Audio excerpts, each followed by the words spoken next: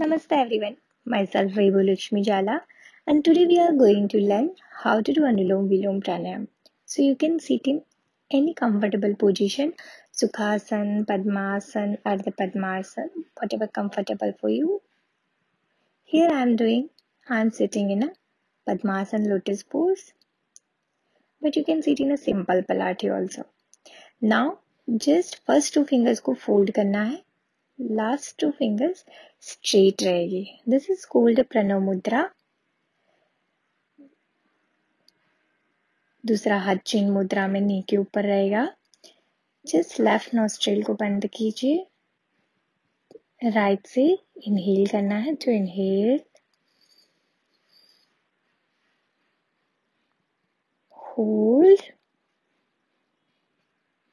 and slowly exhalation from another side. Again, inhale from that. Hold. Exhale from another side. Do repetitions as much as you can. ये आपको mind को शांत करता है lungs की capacity बढ़ाने के लिए बहुत ही अच्छा प्राणायाम है अगर आप ब्रेथ को होल्ड नहीं कर सकते then also it's okay Just take deep breath long, take deep breath. Try to hold and then slowly exhale.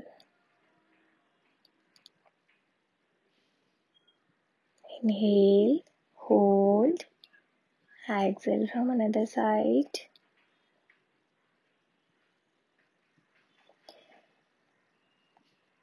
अगर ये प्राणायाम आप मॉर्निंग में करते हैं तो बहुत ही अच्छा है इवनिंग में भी इसको कर सकते हो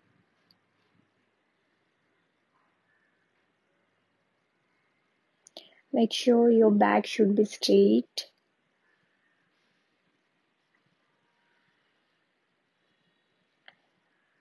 try to do this pranayam at least for 5 to 10 minutes starting में आप 5 minutes से start कर सकते हो then slowly relaxed both hands in a chain mudra Stay there in a normal breathing.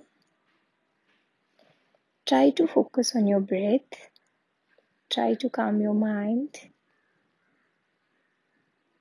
Slowly rub your palm. Cup it on your eyes. And slowly open your eyes. Thank you. Namaste. Thank you for watching my video.